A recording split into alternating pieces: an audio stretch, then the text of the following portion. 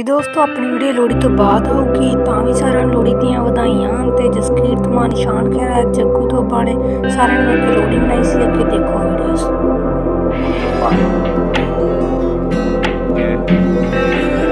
ਗੁੱਡੀ ਸਿਖਰਾਂ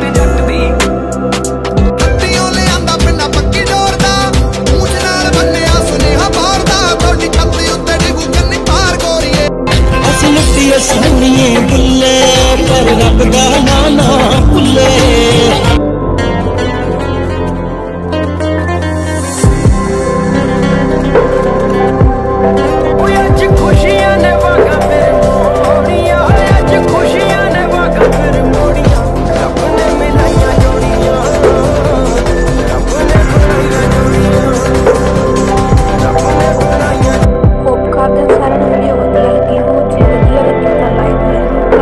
channel subscribe ज़रूर कर लेना